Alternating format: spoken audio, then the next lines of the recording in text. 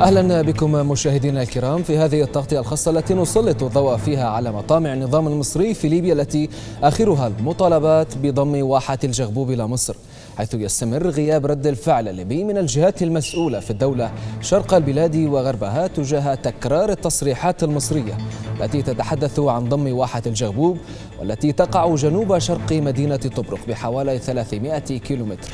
التفاصيل في سياق التقرير التالي. إذا في مصر تقرر شيء أنا معه حتى ولو في غير مصلحتنا. ثمار التنازلات قد أينعت. واحة الجغبوب الليبية قد لا تلازمها هذه الصفة يوما ما. فمصر مستعدة للاستيلاء على أراضي ليبية بمباركة من يتجهزون لبيعها مقابل قبض الثمن. الكرسي. جنوب شرق ليبيا بلدة الجغبوب. أجلت دائرة المفوضين بمحكمة القضاء الإداري بمجلس الدولة المصري دعوا بشأنها تطالب بضمها للأراضي المصرية إلى العشرين من سبتمبر القادم. الجغبوب مهد أبرز الحركات الاجتماعية المرتبطة بالتاريخ الليبي فمنها انطلقت الحركة السنوسية التي أسهمت في نشر الإسلام في قلب إفريقيا وألفت بين قلوب الملايين. مصر ذات السجل الحافل بالنزاعات الحدودية حلايب وتيران وصنافير تخوض صراعا مستديما تارة مع جارتها في الجنوب السودان وتارة مع شرقها وأخيرا مع جارتها ليبيا. مطالب من قضاة ومحامين مصريين. فضلا عن شخصيات عامة لطالما نادوا في أوقات سابقة بضم أراضي ليبية تحت ظل مصر. مدعين أن هذه الأراضي كانت مصرية زمنا ما.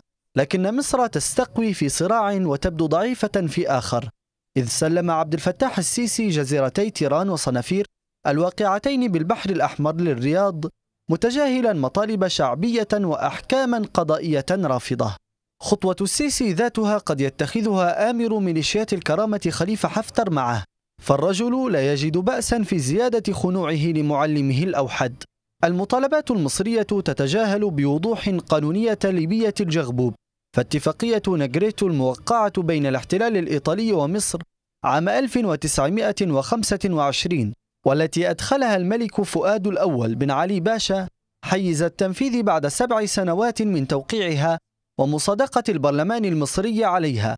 سلمت سيادة الواحة رسميا للجانب الليبي. ما يطرح التساؤلات حول ما إن كانت مصر تستغل الانقسام في ليبيا وإذعان حفتر لها لتتوسع غربا وربما تضع يدها أبعد حيث واحات الذهب الأسود.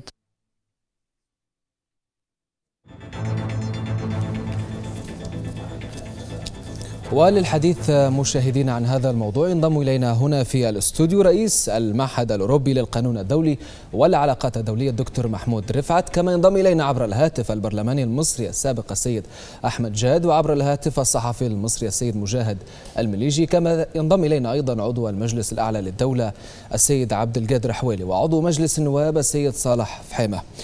نرحب بالدكتور محمود رفعت أهلا بك في البداية. أهلا وسهلا. نعم في البداية دكتور نتحدث عن قانونية مطالبات مصر اليوم بضم واحد الجغبوب لمصر. الموضوع تاريخي في البداية. تم حسم الموضوع كما يقول الجانب الليبي سنة 1925 عندما تمت الاتفاقية بين إيطاليا ومصر ب يعني تسليم الجانب الإيطالي واحد سيوة إلى مصر مقابل الكف عن مطالبات المصرية بواحد الجغبوب. لماذا اليوم تتجدد هذه المطالب من الجانب المصري؟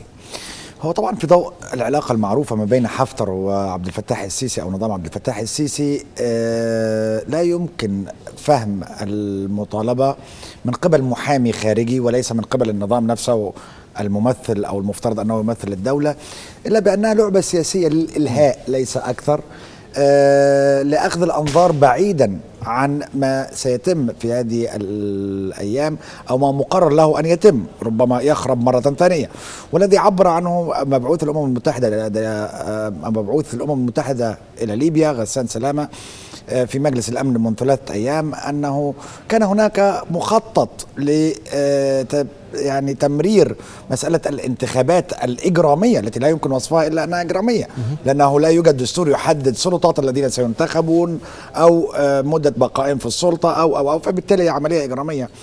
آه، وقال يعني بالحرف الواحد غسان سلامة ما معناه يعني أن كانت مسألة آه، التحركات في الهلال النفطي هي التي خربت هذا المشروع الإجرامي. آه، من المقرر الآن أن يكون هناك عمليات إجرامية في الغرب. آه، ربما ليس من قبل ميليشيات حفتر نفسها ولكن من قبل متآمرين مع حفتر بمال نعرف جيدا أنه يأتي من الإمارات العربية المتحدة. فبالتالي عملية الجغبوب هي إلهاء عن هذا كله من ناحية ومن ناحية أخرى.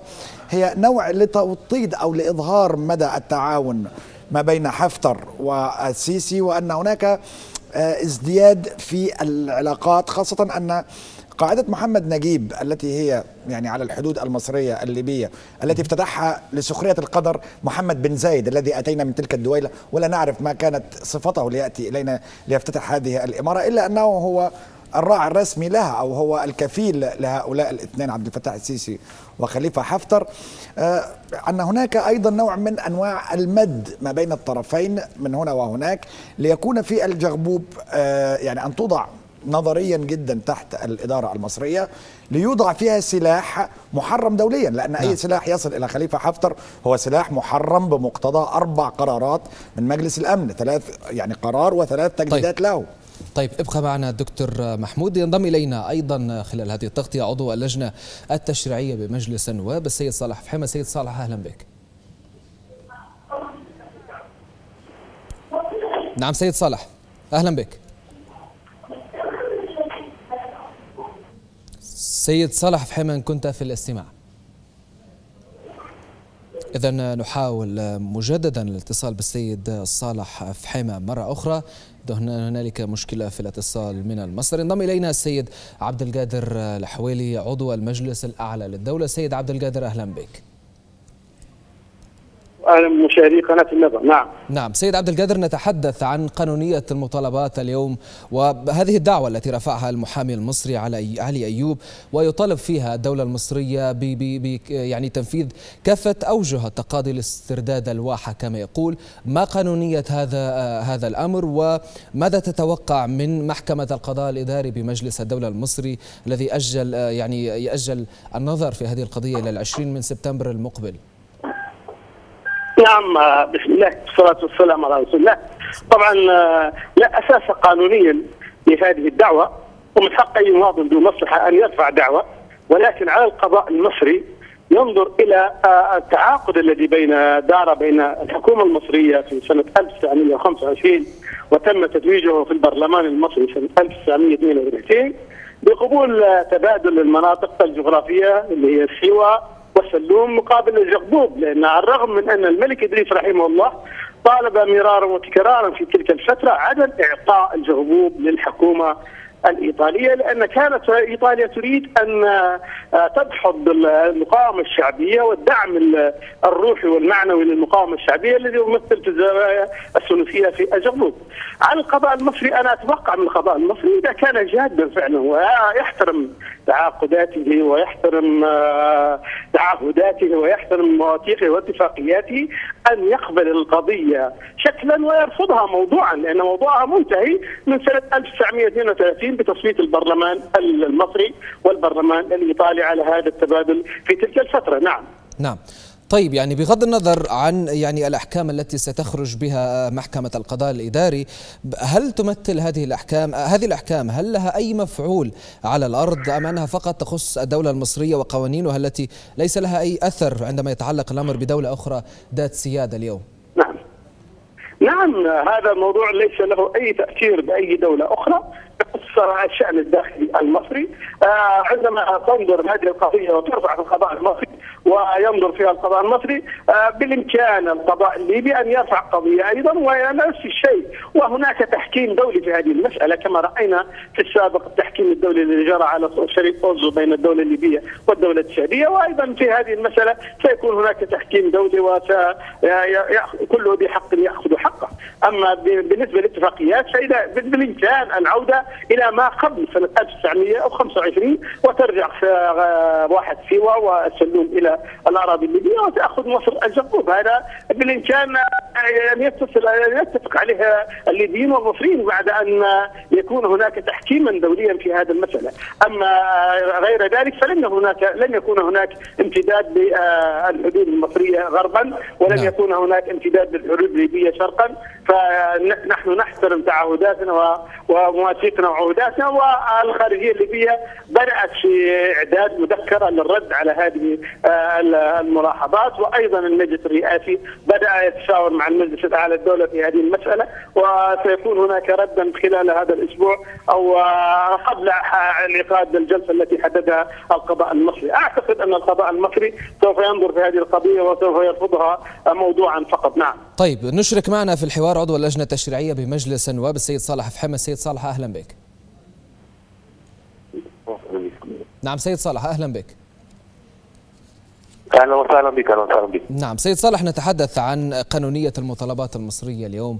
آه، على الأقل من جانب محامي الذي يعني يتقدم بالدعوة لمحكمة القضاء الإداري لضم واحة الجغبوب إلى مصر. يعني قضايا الحدود الموروثة عن الفترات الاستعمارية تتحدث عن أو أيضا حسب اتفاقيتي تأسيس منظمة الوحدة الإفريقية والاتحاد الإفريقي مصر وليبيا موقعتين على هذه الاتفاقية وكانت من المؤسستين لكلتا المنظمتين وهي غير قابلة للتغيير إلا في حال التقدم بشكوى واللجوء إلى محكمة العدل الدولية. هل تتوقع أن يتطور الأمر؟ ويعني هذه المطالبات المصرية تتطور للجوء إلى التحكيم الدولي في هذه الحالة؟ دعني اولا أحييك وأحيي ضيوفك الكرام وأحيي الساده المشاهدين. آه، طبعا ما حدث هو أمر عادي جدا يحدث في أي مكان من العالم. آه، محامي مصري مغمور أراد أن يخوض آه، مغامرة أراد أن آه، يكتب اسمه آه، في التاريخ وأراد أن يظهر اسمه فقام برفع آه، دعوة لضم آه، الجفوف إلى الاراضي المصرية معتمدا على خلفية تاريخية آه، هي يعني ليست وعلى- المطالبة الأولى سيد فحيمة ليست المطالبة الأولى وخلال هذه الثلاث سنوات هنالك العديد من المطالبات نعم. وحتى عند. المشاورات في في في فترة التناقش على الاستقلال آه، الليبي أيضا تحدث مندوب مصر في في في في ذات الاجتماع عن مجددا عن مطالبة مصر بهذه آه، بهذا الأمر ضم واحة الجغبوب إلى مصر ليست جديدة لا لا خليني بس نتكلم وأعطيني فرصة اذا اذا تفضل. يعني إذا سمحت لي. آه، أنا أصر على أن الأمر لا يعد كونه زوبعه في فنجان، النظام ال- آه، المصري لم يتحدث حتى الآن لم يخرج علينا أي من المسؤولين المصريين ويتحدث عن هذا الأمر، هو عبارة عن محامي أراد أن آه، يخوض مغامرة ما أراد أن يظهر اسمه فقام برفع هذه ال- القضية وحتى ولو فرضنا جدلا أن المحاكم المصرية قبلت بهذه القضية حكمت لصالح هذا المحامي المغمور يبقى آه هذا الأمر يعني آه آه وفق إطار الدولة المصرية لأن القانون المصري لا يقضي على الدولة ال- الليبية. وبالتالي آه الأمر لم ياخذ الطابع الرسمي حتى هذه اللحظة، الأمر ما زال آه زي ما قلت لحضرتك آه يعني في إطار آه القانون المصري وداخل الدولة المصرية ثم أن ال- الحدود لا تؤخذ بهذا ال- الشكل. يعني آه قضايا الحدود المعروف أن آه من يحكم فيها هي آه يعني محاكم آه دولية وتشترط هذه المحاكم الدولية أن أن تأتي الدولتين لتحتكما معا. إذا يعني إذا جاءت دولة واحدة لتحتكم أو آه، قضية في يعني آه، لإعادة آه، مثلا ترتيب الحدود فلا يؤخذ بهذه القضية. والشواهد التاريخية يعني يعني كثيره عن ذلك. نحن ما زلنا نذكر قضية آه، اقليم أوزو الذي كان ال- آه، الاحتكاك نعم. فيه للمحاكم الدولية بين ليبيا وتشاد وأيضا قضية الجرف القاضي بين ليبيا آه، وتونس. وكيف حك- حكمت القضية الأولى لتشاد وحكمت القضية الثانية آه، آه، لليبيا. بالتالي آه، يعني هذا الأمر إلى حتى هذه اللحظة الدولة المصرية لا علاقة له به، النظام المصري لا علاقة له آه، به، هو عبارة عن مواطن قام برفع قضية وبإمكان أي محامي ليبي ان يرفع قضية آه، مضحكة مثل هذه القضية ويتحدث عن أن آه، القاهرة داخل الحدود ال- الليبية مثلا. فيعني لا تعطوا الأمر أكبر من حجمه و آه، هذا رأيي يعني آه، وهذا ما أراه بالنسبة لي طيب. هذا هذا ما أراه ويراه العديد من أعضاء مجلس النواب. طيب ابقى معنا السيد صالح فحيمة ينضم إلينا البرلماني المصري السابق السيد أحمد جاد سيد أحمد أهلا بك أهلا بك أستاذ عدنان وبمشاهديك وضيوفك. نعم سيد أحمد نتحدث عن قانونية هذه المطالبات اليوم بضم واحه الجغبوب لمصر إذا ما نظرنا لكل الاتفاقيات السابقة والاتفاقية الموقعة في سنة 25 بأن واحه الجغبوب هي ليبيا، لماذا اليوم هذه المطالبات وكيف ترى قانونية الأمر وما المتوقع في جلسة العشرين من سبتمبر المقبل؟ اولا لا يخفى علينا أن ترسيم الحدود لم يكن من قبل من قبل الدول القومية نفسها سواء مصر أو ليبيا أو غيرها من الدول ولكن من قام بتقسيم هذه بترسيم هذه الحدود هي دول استعمارية كانت تستعمر الوطن العربي والدول الإسلامية فلم تكن هناك أيدي وطنية قامت بهذا الترسيم في يوم من الأيام.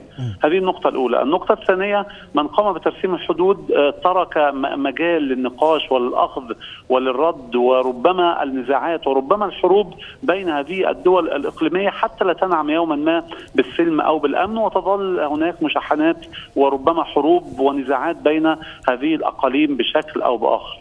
الأمر الثالث مثل هذه النزاعات على ترسيم الحدود لا لا لا لا يقوم بها مواطن من هنا أو من هناك يقوم برفع دعوة أيضا في دولته أو الآخر في دولة أخرى ولكن تقوم بها الدول على مستوى عال من طيب المسؤولية ماذا لو استجابت الدولة المصرية والنظام المصري اليوم لهذه الدعوة خصوصا يعني أن الواحة غنية بالنفط لا, لا يمكن إنكار ذلك ويعني تاريخيا هنالك مطالبات كثيرة بضم هذه الواحة إلى مصر. أيضا النظام المصري اليوم له يعني سوابق في في في المشاكل الحدودية إذا ما نظرنا إلى قضية تيران وصنافير وحلايب وما إلى ذلك. لذلك أقول أن ما أظن أن تحريك مثل هذه القضية أو هذا الأمر الخاص بهذه الواحه في هذا التوقيت هو ربما وبشكل كبير وفقا لاتفاقات سياسية يعني تقوم مثل هذه الدعاوى التي يقوم بها مواطن بجس النبض. المعلوم أن النظام العسكري الموجود في مصر الآن لا يعني لا يحترم يعني حدوده ولا يبحث عنها ولا عنده جدية أساسا في الحفاظ عليها بدليل تنازله من طرف واحد على تيران وصنافير.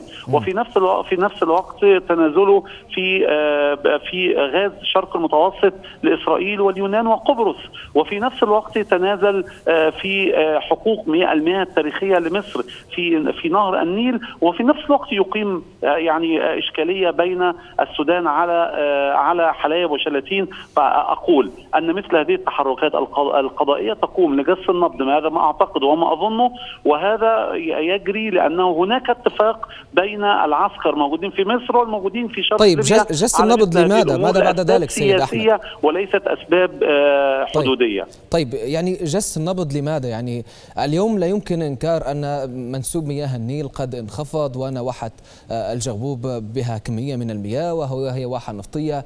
لا يمكن إنكار أن الموضوع ربما هذه القضية تكون مغرية للنظام المصري اليوم الذي يحاول ربما إثبات الوجود وحل المشاكل التي تعاني منها مصر. ألا يمكن أن نرى أن الأمر قد يتطور وتتبنى أو يتبنى النظام المصري هذه القضية ويتطور الأمر إلى أكبر من ذلك؟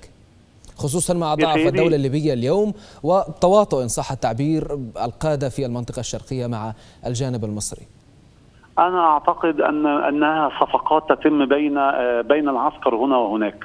في مصر وفي شرق ليبيا هناك صفقات تتم في الخفاء ويتم مثل مثل هذه الدعاوى تكون لجس النبض لقياس مدى قبول الرأي العام هنا أو هناك لمثل هذا الأمر. أنا لا أعتقد أن النظام في مصر جاد في البحث عن حلول لمشكلاته مشكلة مياه النيل. لن تحل لن يحلها بشكل أو بآخر المياه الجوفية الموجودة في واحد الجعجبوب. ولكن أظن أن النظام في مصر يبحث عن صفقة ربما يعني مهادنة أو مكافأة لدعمه للنظام في العسكري في شرق ليبيا. فمثل هذا الأمر يعني يعني يأتي بشكل من المكسب في ظل هذه الأمور السياسية وفي ظل المراوحة التي تجري هنا وهناك. ليس لمصلحه مصر وليس لمصلحه ليبيا وليس هكذا يتم حل مثل هذه الأمور التاريخية أو ربما المشكلات الحدودية المعمولة منذ أكثر منذ 100 عام تقريبا. طيب نعود إلى ضيفنا في الاستوديو الدكتور محمود رفعت دكتور محمود ما تعليقك على هذا الأمر؟ وأيضا يعني كيف ترى الوضع الآن؟ هل يمكن أن تتطور القضية بالفعل ويتبناها النظام المصري؟ و لا يمكن إنكار ربما تكون هنالك مطامع بالفعل للنظام المصري اليوم في هذه الواحة وماذا تتوقع أيضا؟ طيب هو خلينا نفرق بس الشق القانوني عن الشق السياسي. إذا ما تحدثنا في الشق القانوني وهي قضية مرفوعة فلنتساءل هل احترم عبد الفتاح السيسي يوما أحكام القضاء؟ الإجابة لا. لم يحترمها بحال من الأحوال بل على العكس شاهدنا كيف لكن أنه كانت لصالحه القضية لا، ربما يحترمها هذه لم المرة. يأتي حكم لصالح فسادي لأنه لم يفعل شيئا إلا تيران وصنافير على سبيل المثال حينما فرط فيها آم، اعتقال مش عارف أه، هل احترم يوما أحكام القضاء؟ لم يحترمها بحال من الأحوال. وعليه فإن هذا الشق القانوني هو لا قيمة له عند عبد الفتاح السيسي. هي القضية هو محامي طبعا مغمور جدا جدا يعني ولكن هي تأخذ هذا البعد الإعلامي بتوضيح استغل هذه القضية التي هذا ليس سيدي هذا ليس جديد. التوظيف المخابراتي المصري وتوظيف المخابرات المصرية لمحامين مغمورين ليقوموا برفع دعاوى من هذا القبيل ليس بجديد وهؤلاء المحامون المغمورون يعني يقبلون جدا ويفرحون بها.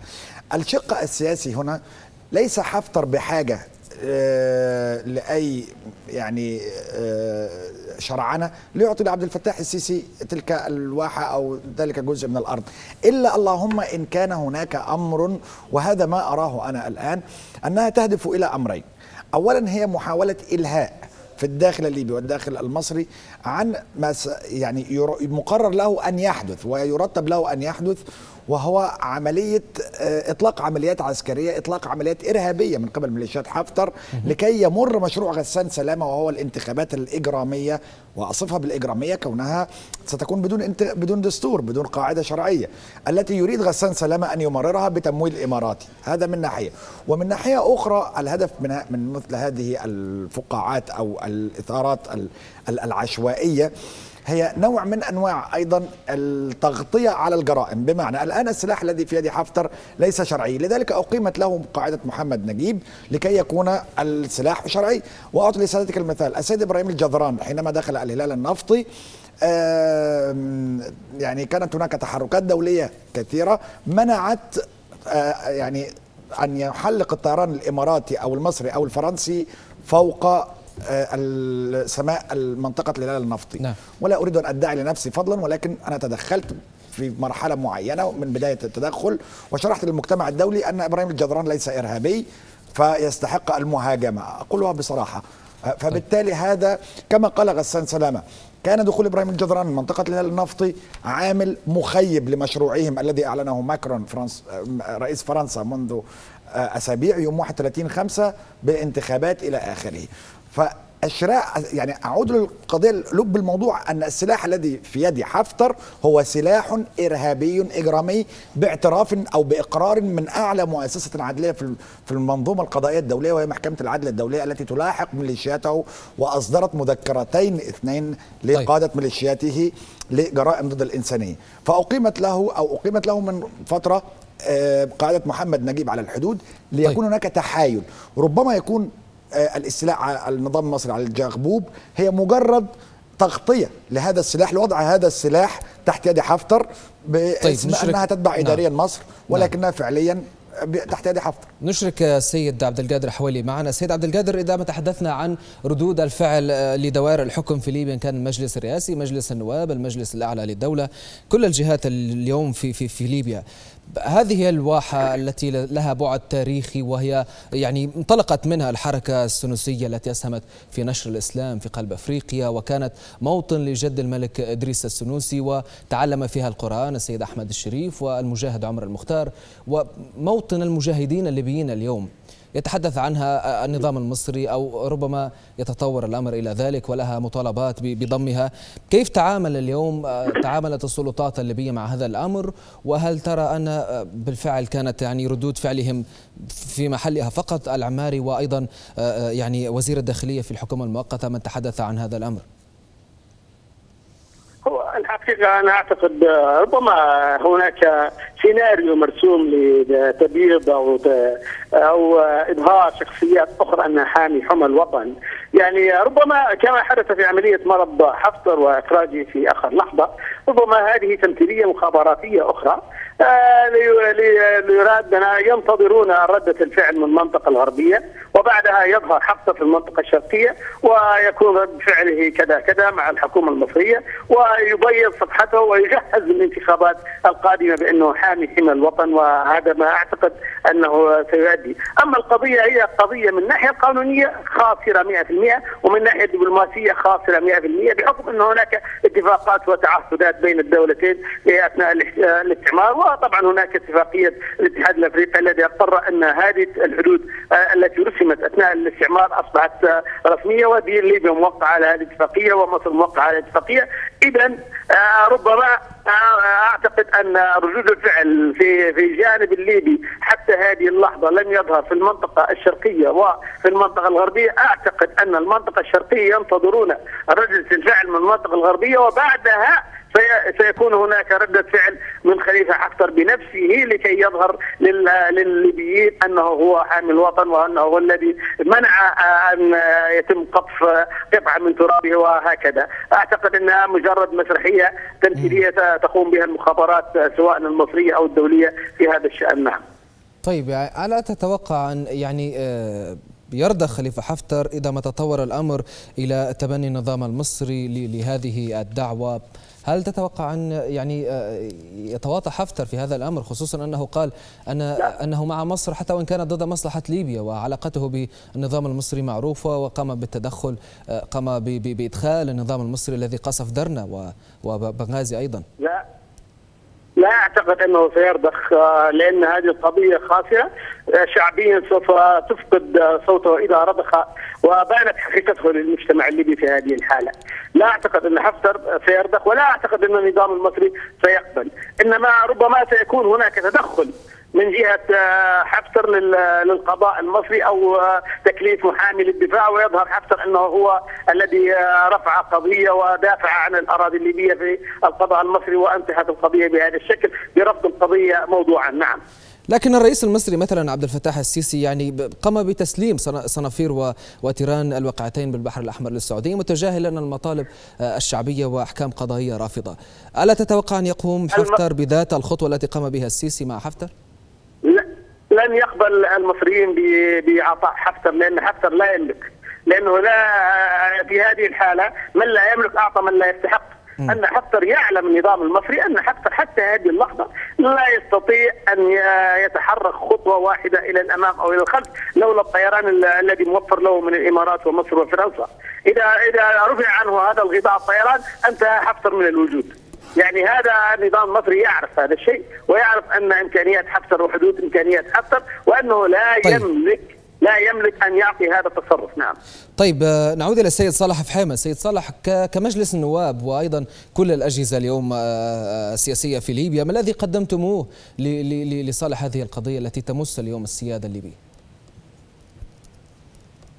لا هي لم يعني هي قضيه بعد يعني كما اسلفت وأعتقد أن السيد حويلي تحدث أن المجلس الرئاسي هو الحكومة المقترحة وزير الخارجية في الحكومة المقترحة وزير الخارجية المفوض باعدام رد وأنا لا أعتقد ذلك. يعني أنا وإن كنت لا أعرف السيد الشخصية ولكنني على الأقل أعرف أنه ليس من المراهقين السياسيين الذين ينجرون خلف مثل هكذا أمور، أنا يعني ما زلت مصر على رأيي وأن ما يحدث هو مجرد ذوب عاطفه جان هو شخص قام بمغامرة ان يريد منها شيء ما حتى وإن ما ما قاله يعني ضيفة في في الاستوديو حتى وإن كان هذا الكلام حقيقي.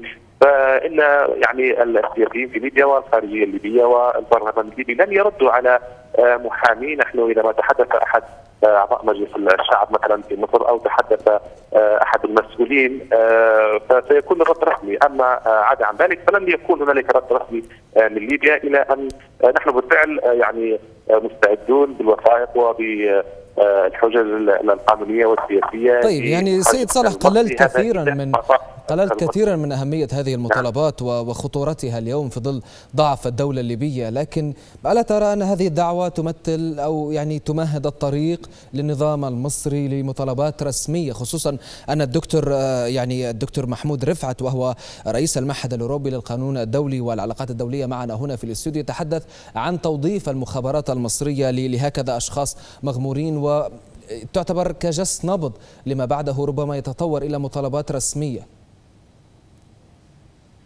هو في حال ما تطور في حال ما صدقت نبوءة ضيفك الكريم وتطور الأمر سوف يكون لنا في الجانب الليبي فعل ضد هذا لكن حتى هذه اللحظة كما أسلفت لا يوجد أي عمل رسمي في يعني من طيب. نعم سيد صالح. سيد صالح هل أنت في الاستماع؟ نعم نعم أنا نعم. اسمعك جيدا طيب آه، طيب ذكرت لنا سيد صالح آه، نعم آه، ذكرت لنا قبل هذه الحلقة أن هنالك تواصل بينك وبين آه، أعضاء في البرلمان المصري. ما الذي دار بينكم إن دار حديث حول هذا الموضوع؟ لا لا أنا لم أذكر ذلك. أنا ذكرت أن السيد رئيس كتله الخليفه البغائي افادنا بانه هنالك تواصل بينه وبين آه، أعضاء آه، البرلمان المصري وأنهم آه، تحدثوا عن أنه لا يوجد في الدوائر الرسمية على الأقل في البرلمان المصري حديث عن هذا ال- الأمر ولا توجد النية لدى النظام المصري القائم الآن.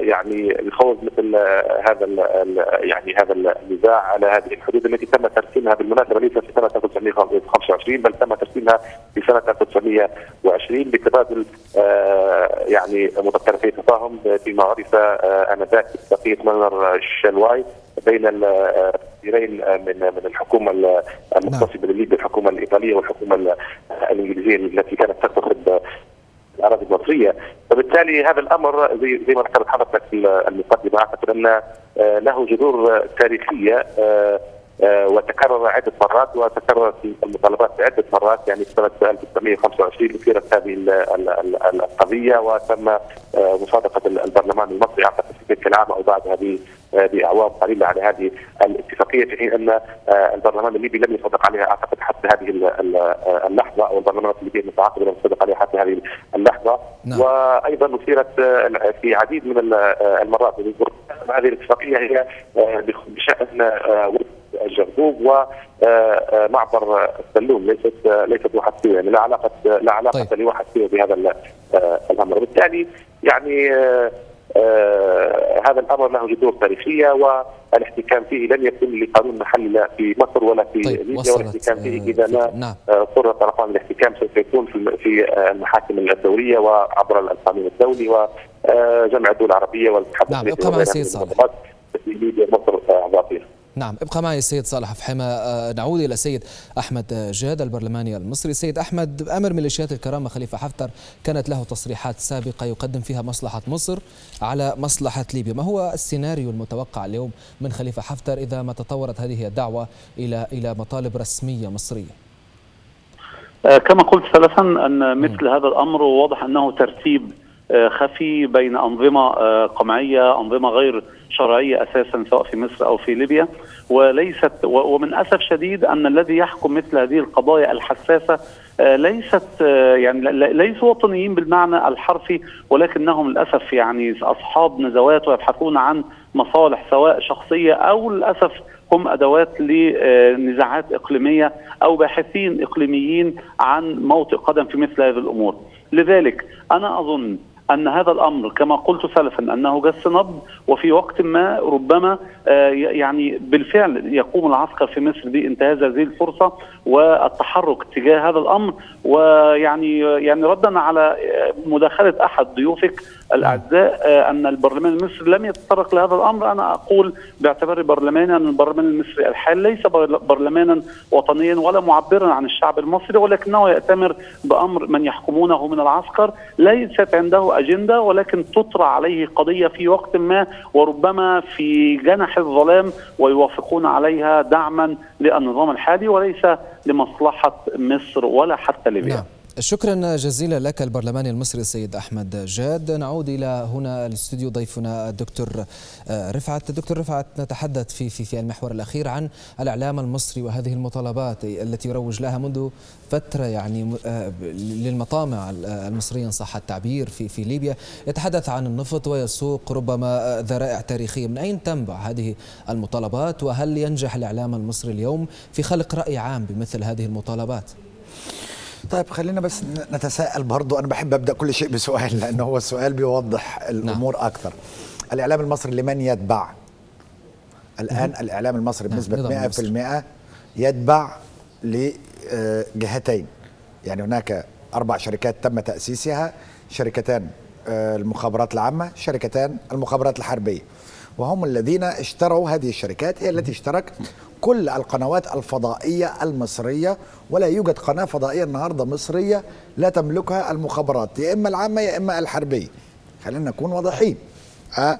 نعم. إذا آه ليس هذا هذا يشير إلى قوة الإعلام اليوم في صنع رأي عام خاصة لم في, يعد. في مصر. لم يعد. لم يعد. لم يعد الإعلام المصري اليوم يصنع رأي عام. لم يعد الإعلام المصري الآن محل احترام لدى المواطن المصري. المواطن المصري الآن لم يعد يستقي معلوماته من هؤلاء المهرجين على الشاشات التي تخرج على الشاشات المحلية.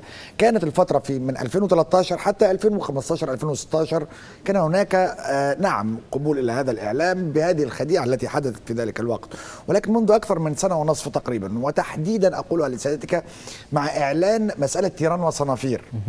سقط الإعلام المصري وترنح كثيرا حتى هوى اليوم وأصبح يعني عفوا آه، يعني كرمية لم يعد أحد يلتفت إليه من قريب أو من بعيد في الداخل المصري. فبالتالي الشعب المصري الآن معروف أنه مفروض عليه أمر واقع بقوة سلاح. وهؤلاء البغبغاوات الذين يظهرون في الإعلام المصري ولا أستثني أحدا منهم اليوم في الفضائيات المصرية أصبحوا آه، يعني مجرد مهرجين بالنسبة للشعب المصري. بل على العكس من ذلك آه، يعني منذ حوالي سبعة أشهر حينما آه، يعني قبلت بمهمة أن أكون منسق حملة الفريق السامي علنا في الخارج بدأ الإعلام المصري يهاجمني. فوجدت كثير جدا من الرسائل تقول لي لم نكن نعرفك لأني لم أكن معروف للشارع المصري. أنا طول عمري في يعني حياتي في ما بين باريس وبروكسل. وجدت كثير جدا يرسلون لي رسائل على تويتر وعلى فيسبوك وهنا وهنا ويذكرون حتى اسمي بدون رسائل في تغريداتهم وفي بوستاتهم على الفيسبوك. لم نكن نعرفك ولكن آه، عرفناك أنك رجل محترم كون الإعلام يشتمك. كون الإعلام المصري يسبك. هذه آه، دلالة آه. ربما على عدم تصديق هذا دليل على سقوط. هذه المنظومة الآن. وهذا مؤشر إيجابي. الإعلام المصري لا يتناول بحال من الأحوال رؤية بط- بطريقة إعلامية ولا يعالج بطريقة إعلامية. هي أجندة مخابراتية. يقوم بها ضابط المخابرات. وطبعا يعني الإعلام آه سواء قناة الشرق أو قناة مكملين هنا أذاعوا العشرات بل يمكن دلوقتي وصلت المئات من التسريبات حتى الإعلامية وسمعنا كيف أنه يستخدم طيب. ممثلات وممثلين من المترهلين الذين كبروا ولم يعد منتج يتصل بهم للأفلام كيف يستخدمونهم في هذا الأمر. لذلك هم أصبحت المنظومة الآن مكشوفة جدا. نعم. آه، الإعلام لم يعد يصنع رأي عام في مصر بحال من الأحوال ولكن في مسألة الجغبوب خلينا نحدد نقطة. هل فعلا نظام عبد الفتاح السيسي بحاجة إلى هذه الأرض هل هو فعلا سيستخدمها؟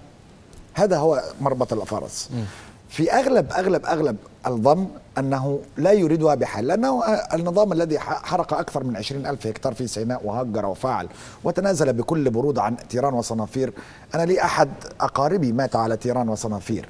لي أحد أقاربي استلمناه أو استلمه جيل من قبل جثة على تيران وصنافير. هذه نعم. التي باعها عبد الفتاح السيسي. ها يعني هؤلاء آه الذين باعوا تيران وصنافير هل فعلا يحتاجون أن يوسعوا ارضا أو في رؤوسهم طيب. توسعه بلد؟ هي المسألة باختصار سيدي الفاضل. إما أنها تشريع لأن تكون هذه ال- ال- الأرض تحت إدارة مصرية وبالتالي تكون آه تخفي عدم شرعية سلاح حفتر أنها يعني مصرية ولكن هي بالفعل حفتر سيبقى ير- يركب هذه الأرض حتى يأخذ السلاح. طيب في سؤال أخير فقط عذرا للمقاطعة في أقل من دقيقة. هل الشارع المصري اليوم متقبل لهذه الدعوات؟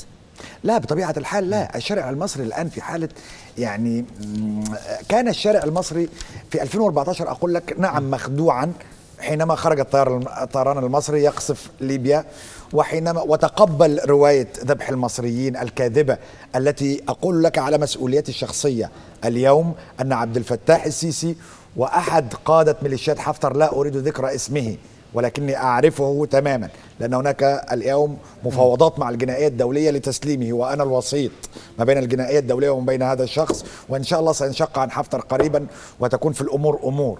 هذا الشخص هو الذي تولى بنفسه ذبح الم- المسيحيين المصريين.